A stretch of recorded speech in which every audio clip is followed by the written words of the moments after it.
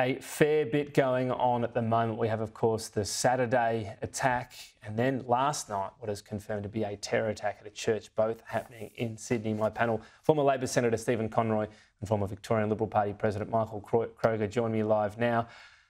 It's a it's a pretty um, intemperate time out there, Michael. Just starting with you, you know, police and authorities being pretty cautious. I guess the concern is now uh, this was a terror attack last time, and whether it becomes a case of retaliation. And it's a time for a prime minister to, um, you know, not speculate. He's tr- trying to uh, urge Australians to stick together right now. Well, he is, which is what any you know decent Western leader does at this time. Um, the question arises, Tom, as to whether there's an increased level of religious intolerance in this country. Uh, what is the reason for that, and uh, what can be done about it? If you read between the lines from what is being said, it looks as if this was a response by someone of one faith against someone of another faith who may have who may have said something uh, untoward uh, about the first faith. So uh, that's what it looks like. Now maybe that'll be disproved, but at the minute that's what this sounds like, and um, it's that type of religious intolerance that uh, this country is not known for. Mm, yeah, and that's what we've pleasingly had for the vast majority um, in Australia. Stephen, you know, I suppose the war in Gaza always had that that possibility, and without sort of wading into everything on that, we have had before this bishop actually express a lot of sympathy for the plight of Palestinians.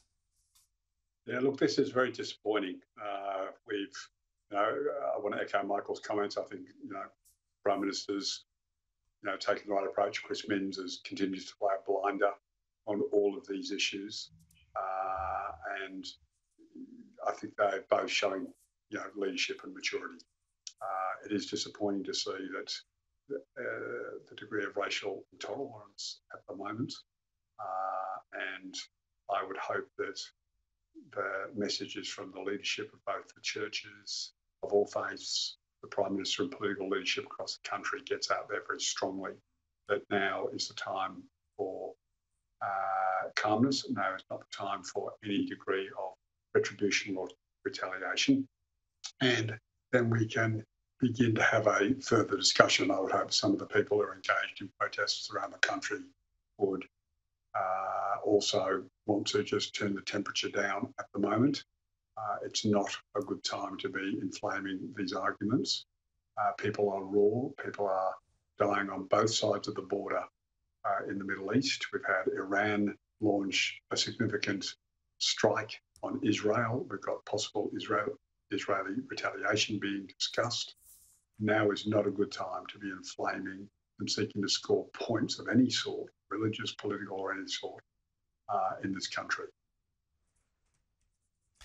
We've got this supermarket inquiry going on at the moment. It's been a fiery one, Michael. I'm not sure if you caught up. We've been playing Brad Banducci. Get into a bit of look. It might sound like semantics, the argument with the chair, Nick McKim. Uh, Brad Banducci wants to talk about return on investment. Return on equity is a preferred measure from Nick McKim. But we're diving into the weeds, but this is what we're trying to figure out, I guess. Supermarkets, uh, you know, are they making an unreasonable amount of money or not? And there's there's no definitive answer, but you've got to sort of try to compare it to other rates of return around the world? Yeah, you do. Um, uh, at a first step, uh, as I've said, I think you want to work out what the returns to growers are and where where, where the margins are on the, along the profit chain. Uh, given that we're getting into the weeds of this debate, as they have with petrol prices over the thousand inquiries into petrol pricing we've had over the last couple of decades, uh, let's see where the margins are. Now, some of that's commercial in confidence, but I think it's fair to say that the growers seem to be receiving a, a very small proportion of, of the ultimate retail price for their uh, for their hard labour. Uh, and so let's see where the profit margins are. Um, having said that, um, this clown show of uh, McKim threatening to put uh, uh, uh Mr. Banducci in jail and threatening with contempt, what, what, what a preposterous piece of nonsense that was. Um, um, you know, seriously, and uh, it's why the Greens should have no place in anything to do with business in this country. The, these, this was just a stunt by McKim, and uh, shame on him. I mean, you know, pretending that, that, to be a senator of the Australian Parliament that he's got a right to sort of threaten Mr. Banducci in this way, um, you know, shame, shame on him and shame on the Greens.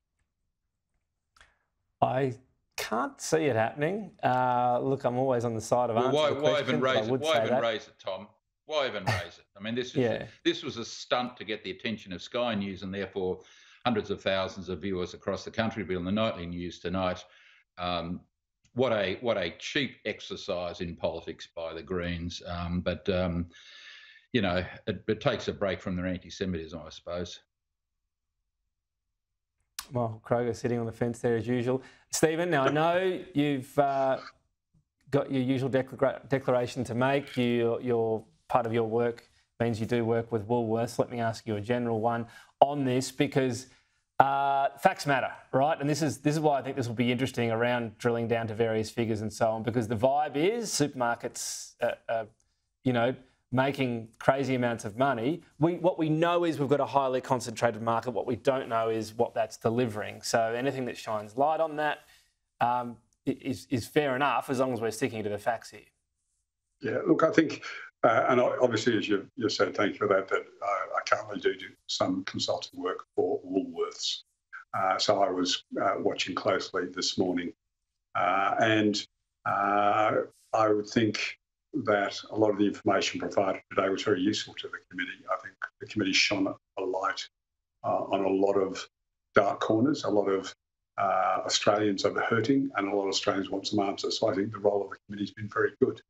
Uh, one of the things that John Faulkner taught me in my 20 years in the Senate in my first year or two is uh, there is a point where you do have to understand that the Senate actually has a limited amount of powers and you know, when you want to go uh, to call the bluff of witnesses, you need to understand that you are an emperor wearing no clothes.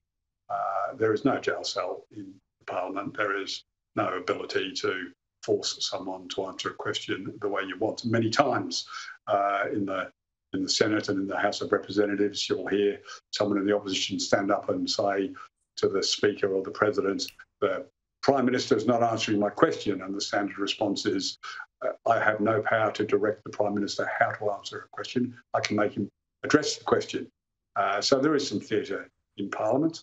Uh, and I thought uh, we saw some you know, healthy theatre today, but in terms of the actual ability to jail somebody, uh, I think uh, that was that was that was in the theatre category. but to your core point, uh, the, there is a lot of good information coming from this committee. It is doing a good job in general, and I thought some of the answers across the last few weeks of hearings have been really helpful, and hopefully the committee are able to find a balanced report which looks at all of the evidence. Yeah, well, with the threat made, I thought it was uh, Law and Order, the Senator's edition was about to begin, but apparently not. Apparently not. I'm not sure it would rate all that highly.